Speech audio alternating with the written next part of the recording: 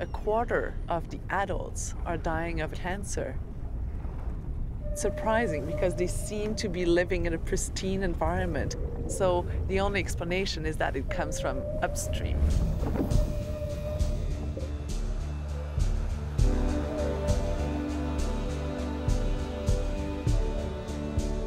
What ails the belugas are things that happened long ago and far away.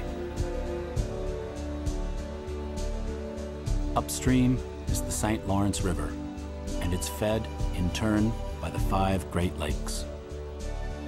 They pour through the heart of North America and the lives of 35 million lucky people who have plenty to drink in a thirsty world.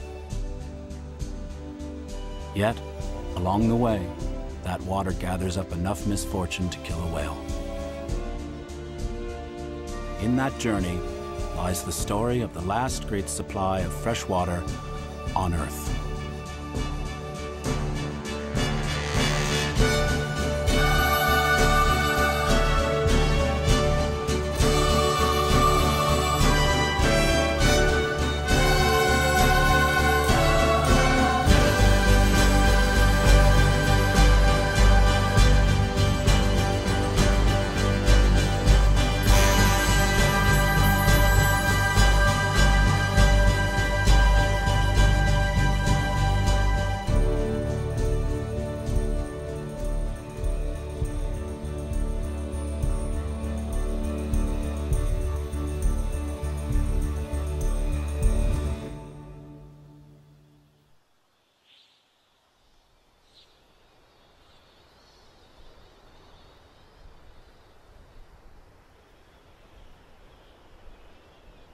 Around and round water goes, and it never ever stops.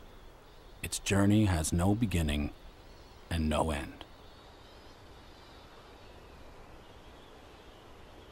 Every body of water is just a vessel that it shapes in passing.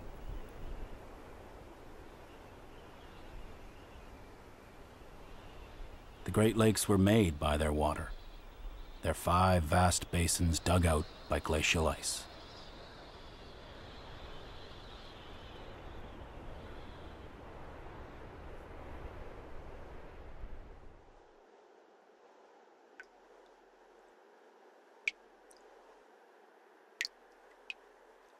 It took 10,000 years to melt into the cascade that tumbles down through the basins from the high level of Lake Superior, where our voyage begins.